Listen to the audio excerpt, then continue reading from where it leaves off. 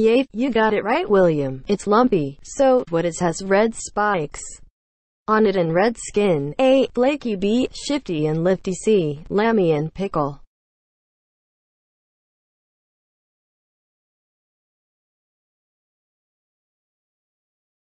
Choose one.